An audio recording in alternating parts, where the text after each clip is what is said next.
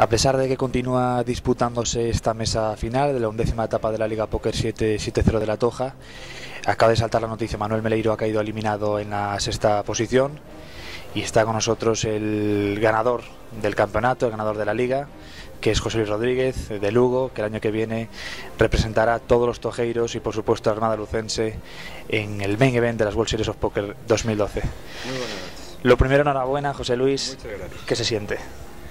Pues la verdad, un poco de nerviosismo, porque no estás acostumbrado a esto. Nosotros empezamos a jugar a esto pues en un bar, con los amigos, jugando al tute. Un día viene el pibe, que mira dónde llegó el pibe ahora, y nos dice, oye, que tenéis que vamos a este juego y tal.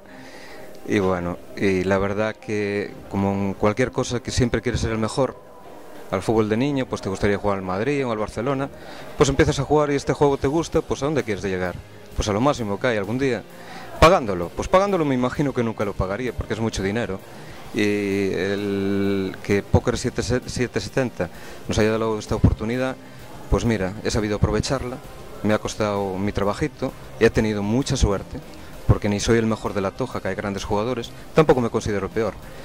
Pero tengo que dar las gracias a la cantidad de amigos que me dan muchos ánimos y sobre todo a tres personas, a cuatro personas que ya no están aquí, que me han mandado, yo que sé, esa fuerza para llegar ahí arriba, que se lo dedico a ellos. Ellos ya saben quiénes son.